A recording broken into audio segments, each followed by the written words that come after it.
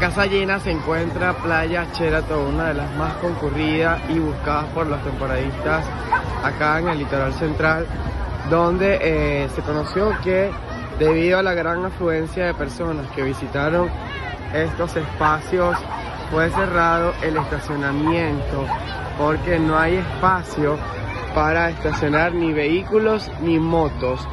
Eh, hemos visto que las personas eh, se han traído sus alimentos, como por ejemplo para preparar un sancocho en la playa, así como también su propia comida.